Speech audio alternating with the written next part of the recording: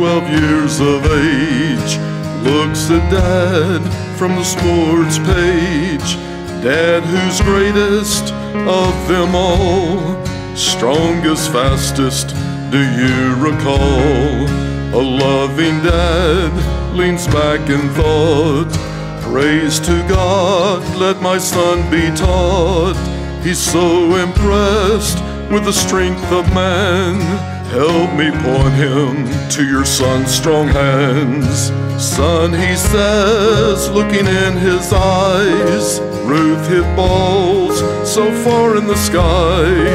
Men were blinded by the sun. The ump would yell another home run. There was Aaron and Mantle too. In baseball's world, these are a few. Willie Mays and Nolan Ryan, some of the best in all of time. In football, Dad, who was best?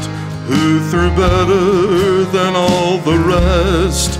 In the history of the game, what passer had the greatest fame?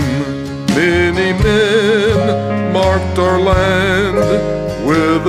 football in their hand. Brady and Bradshaw and Johnny U in football's world, these are a few. Who was best all around?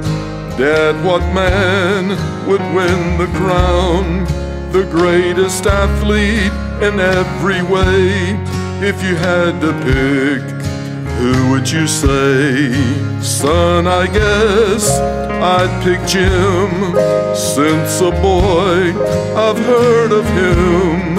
Olympic gold forbid it all. Decathlon to pro football. Then with love and teary eyes shares the greatest who lived and died. Stronger than storms or raging seas, the one who died for you and me.